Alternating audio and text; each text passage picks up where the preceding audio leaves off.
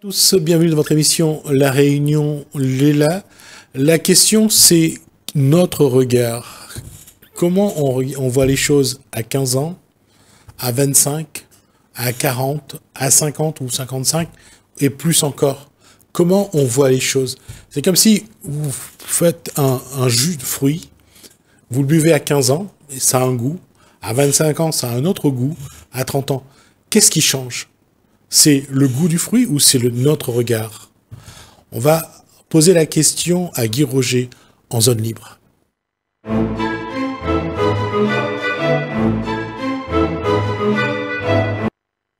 Qu'est-ce qui change? Bonsoir Guy Roger. bonsoir, bonsoir. Qu'est-ce qui change dans le regard de l'individu quand il prend de l'expérience? Je pense que rien ne change mais son regard, effectivement, qui est doté de ce qu'il a vécu, des expériences qu'il a eues. Donc, il a créé sa petite euh, conclusion et il regarde à chaque fois avec les conclusions du passé. En fait, rien ne change, mais nous croyons qu'il faut toujours répéter les mêmes choses. Et quand nous voyons les choses avec la même idée, eh ben, ça ne change pas. Vous prenez vous faites un rougail saucisse, vous prenez les mêmes ingrédients. La viande déjà, ça sera pas pareil, je suppose, par le goût. Pas parce que la viande est différente, parce que vous allez le voir différemment. Les ingrédients ne changent pas. Et vous allez faire ce rougail saucisse. À 15 ans, vous le mangez. À 25 ans, vous le mangez. Ou à 40 ans. Mais il n'aura jamais le même goût. Oui, je ne sais pas si on peut faire une parodie comme ça sur. Non, c'est pour montrer qu'il y a une évolution quelque part. Mais est-ce que c'est le rougail saucisse qui a évolué? Ben, Peut-être. Ou peut-être pas.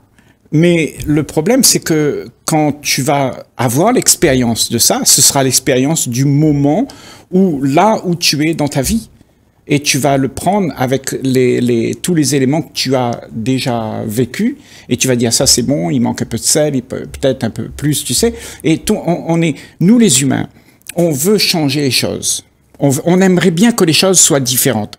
Parce que quand on vit la vie avec l'habitude et le train-train, toujours le même carré saucisse, tu sais, eh ben, en fait, c'est la, la monotonie. Euh, c'est l'habitude et les trains-trains qui se répètent. Parenthèse, enfin, un, clin d'œil à un grand rayonné, Daniel Vabois, tout le temps qu'arrive volaille. Tout le temps qu'arrive volaille, oui. C'est parce que tu vois nos sens, ce que nous sommes, nous les êtres humains, on a habitué à nos sens à avoir du plaisir. Et ces sens-là. C'est tout le temps carré canard, pardon. C'est tout le temps carré canard. Donc, je m'excuse auprès des des puristes. et, tout le temps, quand on a ces sens euh, qui sont en demande, eh ben, on, veut toujours la même chose. Tu vois? Et c'est ça qui fait que la vie devient monotone, parce qu'on répète toujours les choses, parce qu'on a aimé quelque chose hier, donc on le reveut encore. Nos sens sont en demande, on est dépendant de quelque chose qui va nous donner un peu de gaieté tu vois. Donc, on ne connaît pas vraiment apprécier ce qu'il y a vraiment à ce moment-là. Donc, peut-être qu'il y a un goût qu'on a raté, tu comprends Mais on, on ne l'a pas vu parce qu'on a répété comment on aimait ça hier. Donc, on n'est pas assez sensible pour voir la différence. En fait, la question, elle est la même, puisqu'on puisqu'on a, on, a j'allais dire, flirté avec le sujet de l'amour. Hmm. Comment vivre avec quelqu'un pendant 30, 40, 50, 60 ans, 70 mmh. ans pour certains? Mmh. D'accord? On sait que le, les deux individus sont, vont évoluer aussi. Mais on va quand même avoir la même personne. Comment faire pour regarder cette personne dans l'habitude, mais en même temps en essayant d'inclure une quelque chose de nouveau, alors, si tu inclus quelque chose de nouveau dans la relation, il n'y a plus d'habitude. L'habitude de train-train disparaît. Parce que c'est ça le problème avec les couples, avec les relations, c'est que l'habitude persiste et on veut continuer comme d'habitude. Euh, chérie, j'arrive, je mets, tu mets le plat sur la table et j'arrive, je mets les pieds sous la table et tu me sers. C'est là le paradoxe. Donc il y, a les habitudes qu'on veut garder, il y a les choses qu'on veut, il y a les nouveautés qu'on veut avoir mm. pour que ça soit toujours euh, euh, avec de l'émotion. Oui, mais tu peux pas faire les deux en même temps, Gismi. Bah, si tu veux garder les habitudes Ouais. et que tu veux quelque chose de neuf, il faut quelque chose, il y a quelque chose qui meurt. Donc les habitudes et les trains doivent mourir pour qu'il y ait quelque chose de neuf. On peut pas faire les deux. Et, c'est paradoxal parce que tu vas être en conflit avec ce que tu veux et ce qui existe. Ce qui existe, c'est la vie qui coule d'instant en instant et tu peux pas faire une habitude de ça. Et ce que toi tu veux, tu veux garder tes habitudes. Donc tu es en conflit avec la vie que- qui coule à travers toi. Donc il y a quelque chose qui empêche la vie de couler. Alors, c'est c'est ça aussi ce- le paradoxe entre l'évolution, pour ceux qui veulent évoluer, et celles qui se raccrochent à des habitudes ou des traditions Oui, qui, qui les permettent d'être rassurés, exact. permet de, de, ne pas, de se dire, ben, le monde d'avant est toujours là. Oui, C'est le... mais il faut qu'il l'abandonne. C'est ça. Et ça, c'est la chose la plus difficile pour nous, chaque être humain sur la planète. On ne veut pas abandonner nos réconforts, nos petites traditions, nos petites choses. Et pour ça, ça, ça doit continuer pareil. On le dit à nos enfants, fais ça. Parce que c'est comme ça, c'est bien. Tu vas, va à l'école, apprends bien, Mon tu père, auras une belle mon voiture. père m'a dit de le faire comme ça. Moi, je te ça. dis de le faire comme ça. C'est ça. Et donc tout le monde, on est habitué à répéter ce qu'on nous a dit de faire. C'est-à-dire, on a une mémoire ancestrale qui nous a été léguée, on a hérité de tout ce qu'on nous a dit, et bien on répète tout ce qu'on nous a dit, et on ne fait rien d'autre que ça, parce que c'est trop dangereux, on connaît pas. Et c'est ça le, la question, justement, pour ceux qui, essayent de changer, justement, d'évoluer, de faire que le passé, non pas d'effacer le passé, mais d'essayer de construire le présent et l'avenir d'une façon mieux adaptée. C'est-à-dire adapté à aucun passé, tu vois. Le, le présent doit être vécu comme il est. Il n'y a pas d'autre chose que le présent. Il y a- Là-dedans, il n'y a pas de passé, il n'y a pas de futur. Donc tu dois l'accepter comme il est. Tu vois Le problème, c'est que c'est fait. Les choses qui se passent, on les accepte pas. On aimerait plus de sécurité, plus de gaieté. Donc on fait en sorte qu'on vit toujours ce qu'on aimerait vivre. Et je vais faire quelque chose de, juste pour rigoler, mais de très paradoxal. On veut garder son petit confort du passé, et en même temps, on se dit, on veut changer. C'est un vrai paradoxe. Ben, C'est-à-dire qu'on on veut. C'est quoi changer? Tu sais, regarde, quelqu'un qui fume. Évoluer alors. Oui, quelqu'un qui fume, ok? Il, veut arrêter de fumer parce que euh, il y a quelque chose dans sa tête qui lui dit c'est pas bon. Tu sais, en train de se détruire. Mais qu'est-ce qu'il va faire? Parce qu'il il, il, il a le, le réconfort de cette euh, douceur de- de- d'avoir cette cigarette, de fumer, tu sais, ça le réconforte parce que son corps il est en demande. Mais quand il arrête ça, qu'est-ce qu'il a? Il n'a plus rien. Donc il va prendre un chewing-gum. Tu sais, le changement, c'est, pour moi, à mon sens, c'est quelque chose de radical. Ça s'arrête. Ça s'arrête, tout simplement. Arrête. Et, vis la vie qu'il y a. Et c'est-à-dire, quand tu as vu le mensonge, et que tu sais que c'est un mensonge, mais tu l'abandonnes. Mais comment, comment abandonner, même si c'est un mensonge, quelque chose dans lequel, laquelle, pardon, dans laquelle la personne se sent bien La personne a fini par s'adapter, Oui. par trouver le, le- ce qui lui plaît, Oui. même si c'est un mensonge. Et combien d'entre nous vit dans des mensonges Oui. parce que ça nous convient et que ça nous rassure C'est ça. Et ça nous rassure parce que, tu vois, quand tu regardes le monde, le monde est un gros mensonge que tu as adopté. On t'a dit des choses qui sont pas vraies et tu crois que c'est ça qu'il faut faire. Et c'est devenu une vie médiocre qu'on a accepté de vivre médiocrement sans savoir qu'il y a quelque chose au-delà de tout ça. Parce que tu es resté coincé, prisonnier de ton propre désir d'être bien. Ce bien-être que tu veux va détruire les uns et les autres parce que chacun regarde midi à sa porte. Chacun veut le bien-être, chacun veut midi à sa porte, chacun veut sa sécurité. Et comme ça, on a fait une planète où, au bout de tout ça, il y a la guerre. il va, il va se poser un problème. J'ai commencé l'émission sur un thème parce que je voulais arriver à ça. c'est que avec après deux ans de Covid, deux ans où nos vies ont, forcément changé, hmm. comment pour certains d'abord abandonner, sortir de, ce, de ce carcan qui s'est mis en place et qui aujourd'hui les emprisonne. Il y a des gens qui veulent plus trop sortir de chez eux, il y a ceux qui ont pris d'autres habitudes. La question c'est comment se guérir de ces deux ans de psychose, hmm. de traumatisme, de d'habitude peut-être. Hmm. Comment faire Comment Qu'est-ce qu'on peut proposer à, la, à cette population qui, si aujourd'hui elle se sent mal, comment sortir de ces deux ans qui ont, qui ont j'allais dire, construit un prison dans une prison dans laquelle ils sont aujourd'hui? Tu sais, le monde aujourd'hui est rempli de peur. On, fait tout pour que les gens ont peur. Il y a la guerre, on t'explique qu'il va y avoir la guerre, fais attention, et, tout le monde, tu vas mourir si tu fais pas le vaccin, et, tout ça, ça te fait peur, ça donne un sentiment de malaise à celui qui vit sur cette planète. Donc quand il a peur, il devient dépendant de celui qui donnera la solution. Mais personne n'a la solution.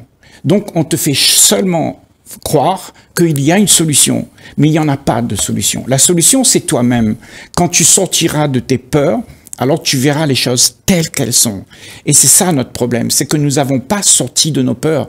Et donc, pour sortir de cette en prise du Covid, il faut réaliser qu'il y a un gros mensonge derrière tout ça. Et que toi, tu es maître de ta vie. C'est pas là-bas qui est maître de ta vie. On te donne l'impression que eux, ils sont maîtres de ta vie. Mais c'est toi qui dois prendre les avants et être souverain de ce que tu es, pas de ce que quelqu'un aimerait que tu fasses.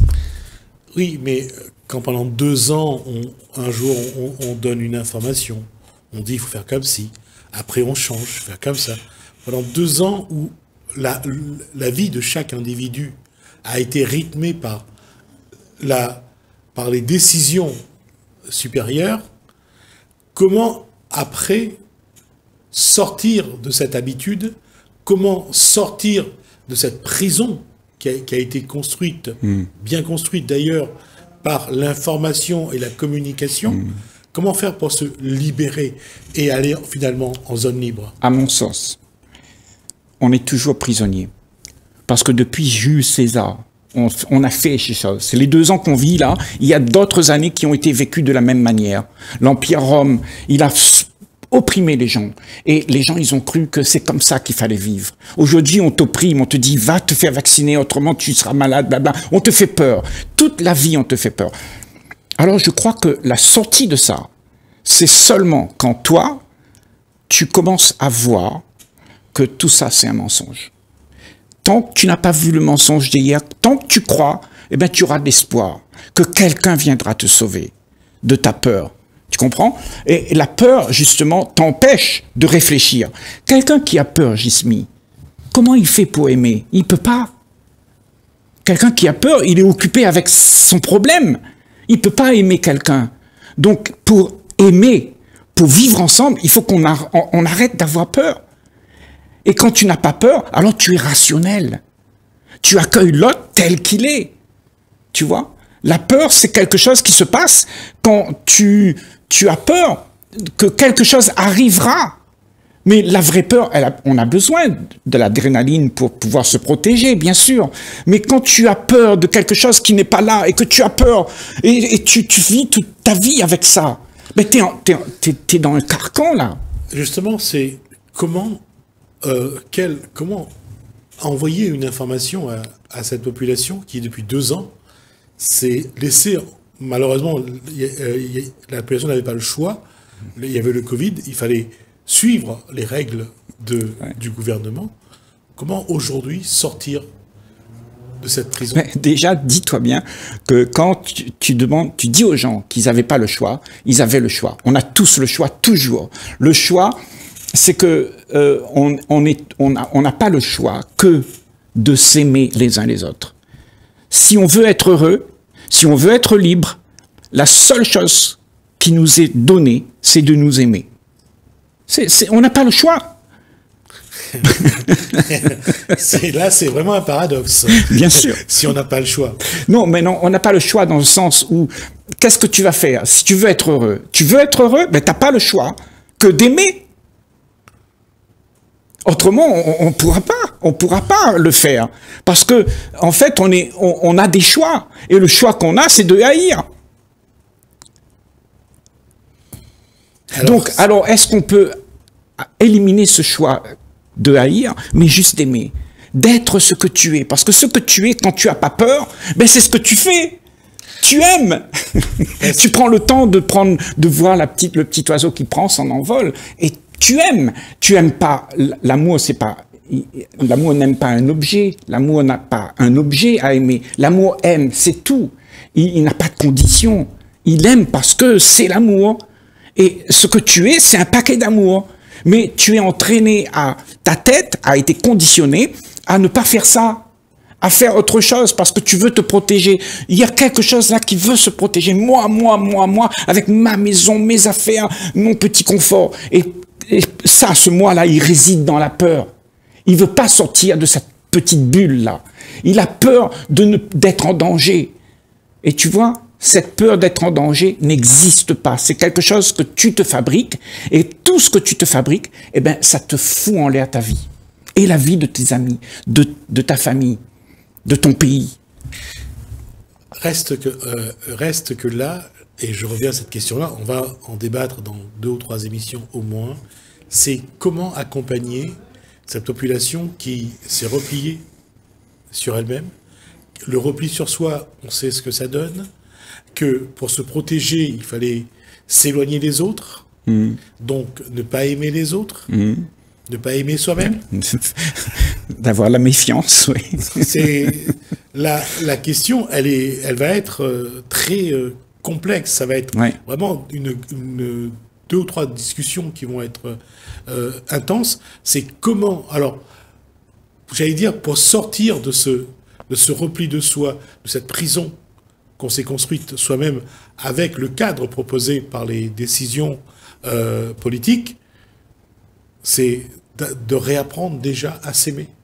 Oui, de réapprendre à accepter qui tu es. Pas ce que quelqu'un voudrait que tu sois. Ne pas être celui qui fait plaisir et alimente le désir de l'autre. Tu es, tu n'es pas là pour ça. Parce que si tu fais ça, alors tu seras dépendant de quelqu'un tu vas faire plaisir parce que tu es dépendant, parce que tu cherches quelque chose à gagner. Mais si tu veux être vrai, si tu veux être libre, eh ben, il faut que tu arrêtes tout ça. Il faut que tu sois libre de toutes les choses que tu fais qui t'emprisonnent, qui te rend dépendant, qui te rend euh, euh, prisonnier de, tes désirs. Parce que le désir de chacun d'entre nous, c'est d'être d'être bien. Et pour être bien, qu'est-ce qu'on veut Aujourd'hui, on t'explique pour être bien, ben il faut faire plaisir à maman parce que maman va te donner un cadeau après. Faut faire plaisir parce que euh, le gouvernement euh, va pouvoir te donner quelque chose. Tu vois, tu fais ton vaccin, fais plaisir, donne le vaccin et tu seras mieux. Donc, on est dépendant d'un bien-être. Ce bien-être, c'est du vent. C'est pas vrai. Réalise ça. si les gens réalisent ça, que c'est du vent. Le bien-être que nous cherchons, c'est du vent. Le vrai bien-être, c'est quand ta tête, elle est arrêtée. Elle ne court plus à ce bien-être. Alors, ça s'appelle, il n'y a plus la pensée qui tourne dedans. Ça s'appelle la paix. Et quand tu as cette paix, alors tu peux prévoir peut-être un monde différent. Peut-être. Alors, la question, prévoir un monde, être en paix avec soi-même, Hmm. pour prévoir un monde différent. On va essayer de détailler ça dans une prochaine émission avec euh, Guy Roger, puisqu'on arrive au terme de ces 20 minutes. Hmm. Mais la question, elle est importante. C'est comment sortir de ce carcan qu'on s'est construit depuis deux ans. On a donné aux autres, le, non seulement on a construit la prison, mais on a donné aux autres la clé. Hmm. Et ça, ça va être une question qui va pas être simple. Merci Guy Roger. On va tenter d'y répondre dans les prochaines émissions. En tout cas, merci à vous de nous avoir suivis. Merci Alain, merci François. Je vous dis à bientôt.